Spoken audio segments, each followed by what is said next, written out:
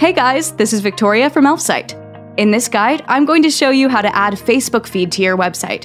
It only takes two minutes, and you don't need any specific skills to do it. First of all, let's go to elfsight.com and choose the Facebook feed widget in the menu list.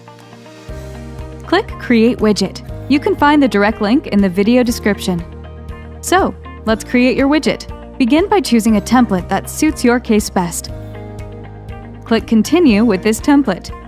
To display Facebook feed on your website, you have to connect to Facebook on the Source tab. Click Continue in the pop-up window. Select the pages you need to feature from the drop-down list.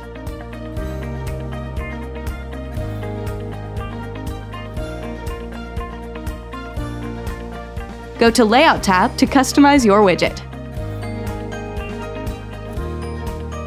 That's it! Your widget is ready! Also, you can check the Settings tab to adjust layout, size, colors, and fonts.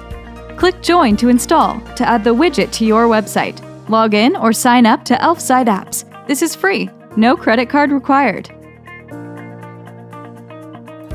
After you sign up, you'll see the widget that you have just created. Click Save. The next step is to choose your subscription plan. You're very welcome to start with Lite, but keep in mind that your 20% discount is valid only for 24 hours. Click on the code to copy it and go to your website's admin panel.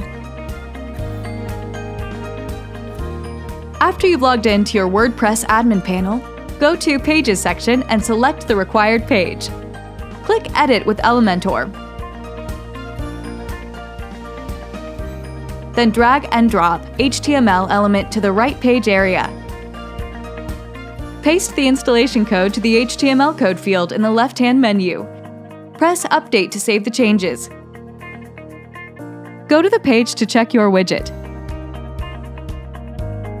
This is how easy it is. But if anything goes wrong at any stage, message us at support at elfsight.com. Also, we've got tons of cool and exciting widgets, and you're very welcome to try them out for free. Just click the link in the description. Thank you for watching this video. Enjoy your day.